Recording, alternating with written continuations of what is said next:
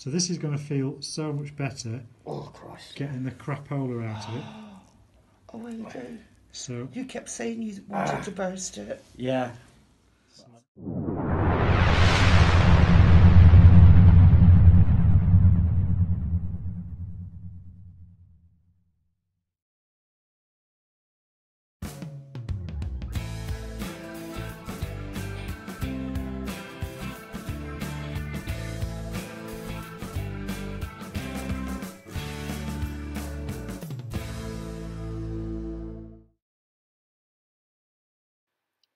This is a case of a soft tissue infection that I've recently managed.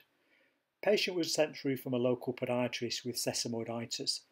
Patient in question had had a left first metatarsophalangeal joint fusion done by a local orthopaedic surgeon and done very well, but had still had some pain sub left first MTPJ and had failed conservative and orthotic care. And he was sent through to me to see whether there was anything further that we could do surgically to manage the pain underneath the metatarsal head. As you can see by the time we presented, had quite a nasty soft tissue infection, so that was clearly my first focus. A general algorithm on the management of such a foot might include initially expressing the pus and doing that under uh, atraumatic non-touch technique, obviously sending off a swab to the lab to see if we can culture an appropriate bug, looking at local wound care, considering baseline bloods for maybe a full blood count um, and some inflammatory markers, so a CRP or an ESR.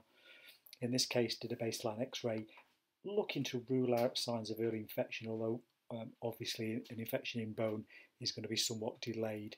You're not going to see early changes on an X-ray, but it's particularly to look at what was going on with the previous surgery. I'll put that up in a sec. And then to continue to monitor the patient to the wound, repeat again with, with bloods and imaging per required need and of course if it's not responsive to antibiotic therapy to escalate that up, think about an MRI, incision and drainage, maybe pulse lavage, target the antibiotics as required. David didn't tell me that bit. Did he not?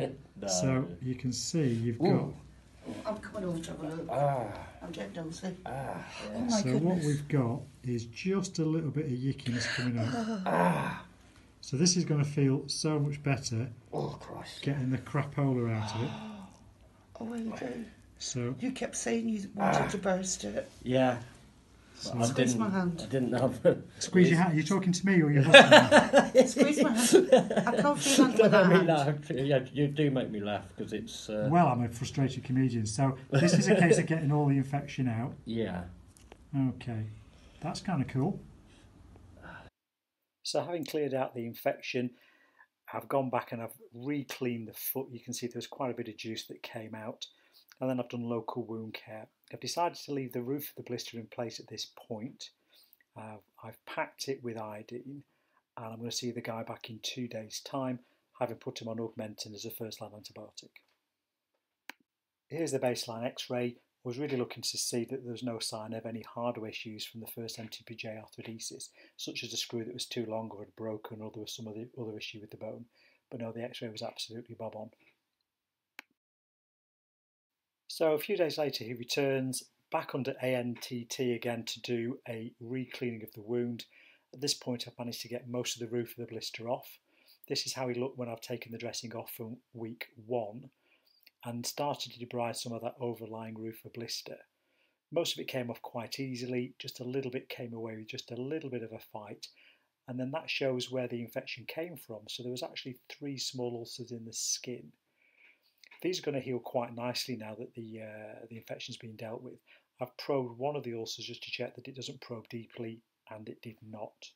So it's back on the sterile dressing, and also with the dressing, what I've done is I've padded and offloaded the foot so that ulcer can heal. And then having cleared the infection, my next job is to see how can we stop this getting infected again and is there anything I need to do to this foot surgically. But that'll be the content of another video. Thanks very much. And it's just worth reiterating that I always get patients' consent to share photos and videos on YouTube. Here's a consent form I use.